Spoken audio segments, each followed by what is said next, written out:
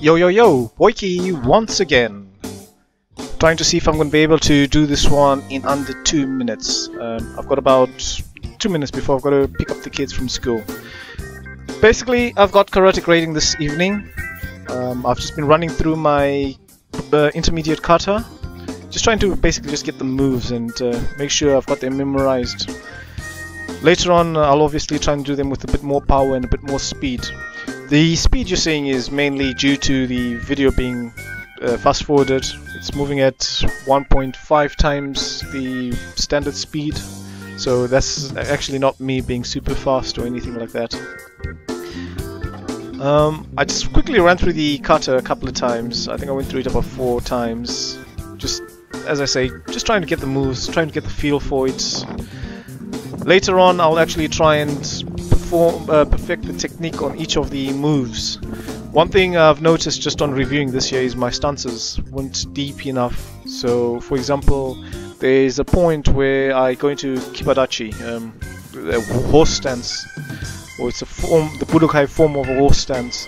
I'm not really that deep in it, and my kicks as well, uh, like the back kick.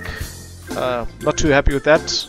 So for tonight's grading, I need to make sure I sharpen that up and you know give it more zing. But um, that's basically it. I just just want to just do a quick video, review it, see what I needed to tweak and what I needed to work on.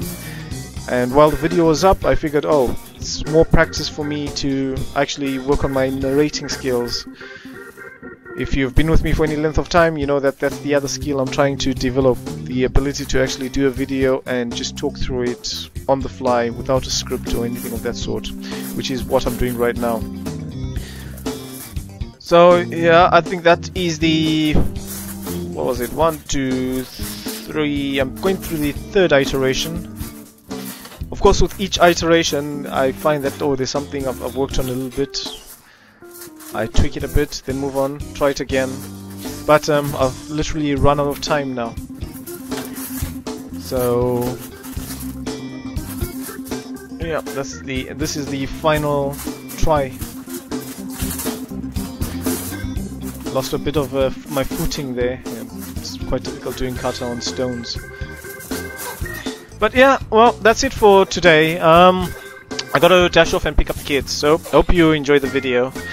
Um, to keep up with my movements and my activities, make sure to subscribe. Boykie, over and out. Catch you on the rebound.